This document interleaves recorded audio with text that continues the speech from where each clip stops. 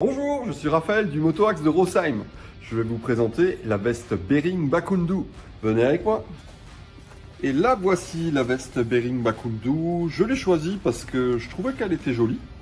Et surtout, je cherchais une veste trail adventure euh, assez aérée pour l'été. Et je vais vous expliquer ça plus en détail. Ce que j'apprécie sur cette veste Bering Bakundu, c'est sa coupe droite très typée trail. Elle est fabriquée en fibre tech 600D et hard mesh, ce qui la rend très ventilée. On a une poche zippée sur le biceps, un serrage au poignet avec un zip, avec la membrane étant juste derrière. Un velcro de réglage sur le poignet. On a une pression ajustable au niveau du col. Des pressions anti-battement sur les bras avec trois niveaux de réglage poche de poitrine extérieure zippée non étanche, empiècement réfléchissant au niveau de l'encolure. Sur la totalité du dos, on retrouve du hard mesh. Au niveau de la taille, nous retrouvons trois boutons pression qui permettent de cintrer la veste.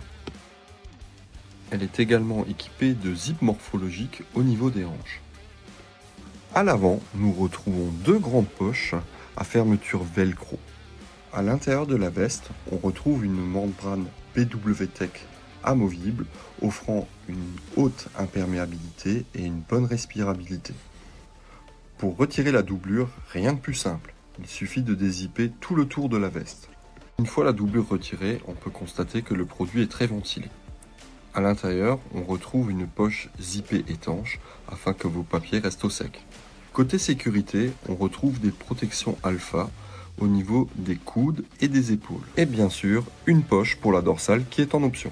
Pour votre confort, le col est en néoprène.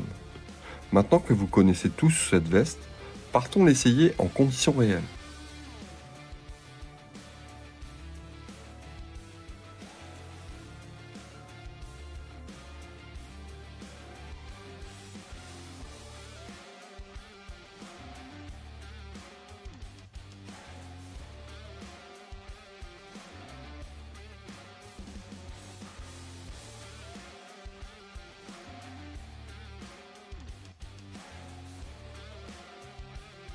Du coup, je reviens d'essayer de se prolonger de cette veste Bering Bakundu, euh, où je l'ai utilisé durant un week-end.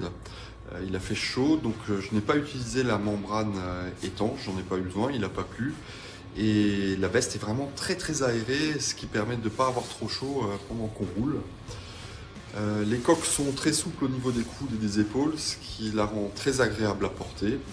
Et pour le reste, je vous invite à venir la découvrir dans votre moto axe préféré. A bientôt, salut salut